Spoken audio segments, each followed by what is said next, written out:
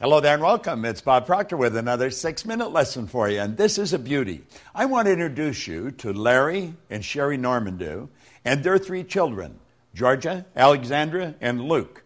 And look at this beautiful home. Now, there's a lesson here with this family. It's an extraordinary lesson. Do you know, six years ago, Sherry went to Walmart trying to buy diapers for the baby. They wouldn't take the debit card, there was nothing in the bank.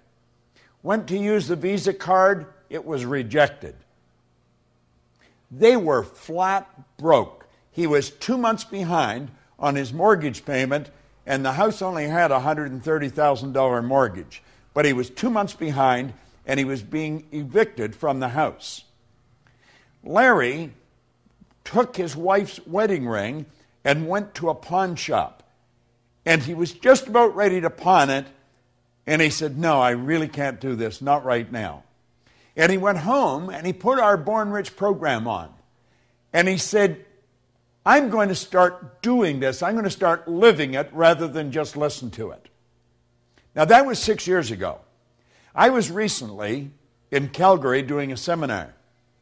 And Larry invited Gerry Robert, myself, a couple of us out to his home. He just built a beautiful home on a lake, a man made lake, right in the center of the city of Calgary. A $2 million house. It's all paid for.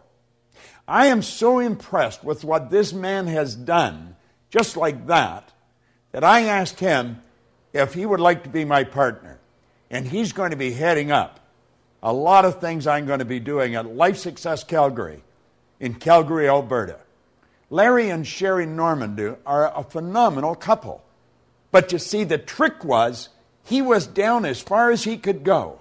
And that's when he made a decision, when things were real tough. He said, I'm going to stop listening to this material and I'm going to start to live it.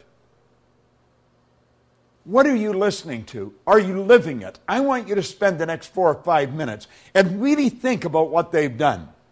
Their life has changed like night and day because he said, I'm going to stop listening to it and I'm going to start living it.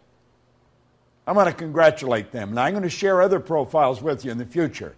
But take four or five minutes and ask yourself, what am I listening to?